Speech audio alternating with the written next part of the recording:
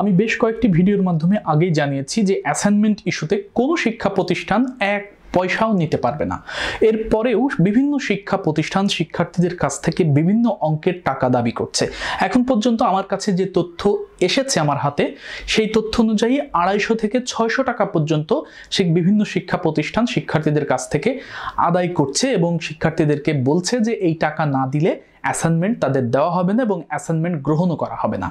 এখন প্রশ্ন হচ্ছে, কোনো শিক্ষা প্রতিষ্ঠান যদি কোনো শিক্ষার্থীর কাছ থেকে টাকা চায়, তাহলে শিক্ষার্থীদের কি করার আছে? টাকা কি দিয়ে দিতে হবে? নাকি আদৌ কোনো উপায় আছে? কারণ সরকার তো মানা করেছে টাকা দিতে, তাই না?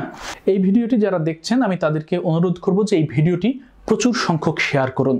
কারণ শেয়ার করলেই বেশি সংখ্যক শিক্ষার্থীর কাছে, বেশি সংখ্যক অভিভাবকের কাছে এই তথ্যগুলো পৌঁছাবে। কারণ এই ভিডিওটি আমি একটি ডকুমেন্ট দেখাবো। যে ডকুমেন্টটা শিক্ষা প্রতিষ্ঠান যদি টাকা চায়, তাহলে এই ডকুমেন্টটা দেখাতে হবে যে এই যে সরকার এই নির্দেশনাটা দিয়েছে, দেখো, এখানে কিন্তু টাকা দিতে বলেনি।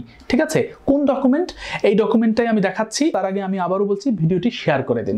আপনারা স্ক্রিনে দেখতে পাচ্ছেন, এটি মাধ্যমিক ও উচ্চশিক্ষা অধিদপ্তর থেকে যে অ্যাসাইনমেন্ট দিয়েছে, সেই অ্যাসাইনমেন্টের তিন নম্বর নির্দেশনায় স্পষ্ট করে বলা হয়েছে যে কোনো শিক্ষা প্রতিষ্ঠান কোনো শিক্ষার্থীর কাছ থেকে কোনো ধরনের ফি সেটা পরীক্ষার ফি হতে পারে, মূল্যায়ন ফি হতে পারে বা আদার্স কোনো ধরনের ফি নিতে পারবে না। কোনো শিক্ষা প্রতিষ্ঠান যদি কোনো ফি শিক্ষার্থীদের কাছ থেকে নেয় কিংবা কোনো ব্যক্তিও যদি এটা নেয়, অর্থাৎ অর্থাৎ কোনো শিক্ষকও যদি এটা নেয়, তাহলে তার বিরুদ্ধে ব্যবস্থা নেওয়া হবে। এটা হচ্ছে একেবারে ডকুমেন্ট এই ডকুমেন্টটা আপনারা শিক্ষা প্রতিষ্ঠান যদি টাকা চায়, তাহলে এটা দেখাবেন। এর পরেও যদি টাকা চায়, তাহলে অবশ্যই প্রতিবাদ করতে হবে। অন্যায়ের প্রতিবাদ করতেই হবে, আর চুপ করে থাকা যাবে না। কারণ কি? কারণ যে শিক্ষকরা সরকারি নির্দেশনা থাকার পরেও সেই নির্দেশনা অমান্য করে অনৈতিকভাবে, অন্যায়ভাবে শিক্ষার্থীদের কাছ থেকে টাকা চাইতে পারে, আর যাই হোক, সেই শিক্ষক আপনার শিক্ষার্থীকে, আপনার সন্তানকে নীতিবান বানাতে পারবে না, মূল্যবোধ তৈরি করতে পারবে না, মানবিক মানুষ হিসেবে গড়ে তুলতে পারবে না। সুতরাং ওই শিক্ষকের কাছে পড়ানোরই দরকার নেই।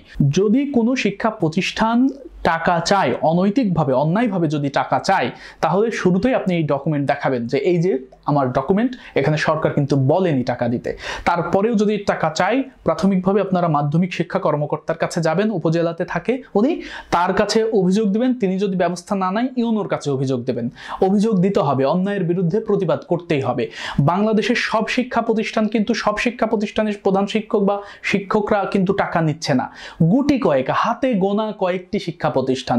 হতে পারে এটা এক হাজার শিক্ষা প্রতিষ্ঠান, হতে পারে দুই হাজার শিক্ষা প্রতিষ্ঠান, কিন্তু বাংলাদেশে তো হাজার হাজার শিক্ষা প্রতিষ্ঠান তাই না?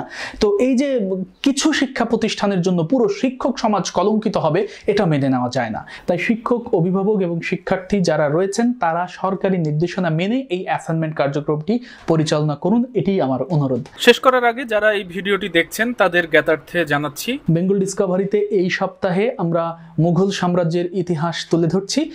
আমার মনে হয় যে শিক্ষার্থীদের জন্য বেঙ্গল ডিসকভারি ফেসবুক পেজ এবং ইউটিউব চ্যানেল দারুণভাবে উপকৃত করবে, তাদের জ্ঞান ভাণ্ডার সমৃদ্ধ করতে সাহায্য করবে।